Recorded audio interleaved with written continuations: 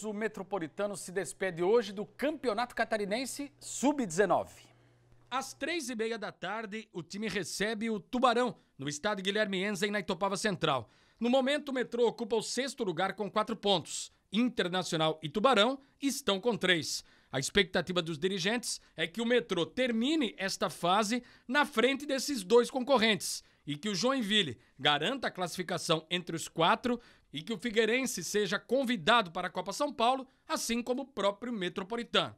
Dentro de campo, portanto, o time não conseguiu o seu objetivo. Fora dele, trabalha para que receba um convite para participar da mais importante competição de base do país a partir de janeiro do ano que vem.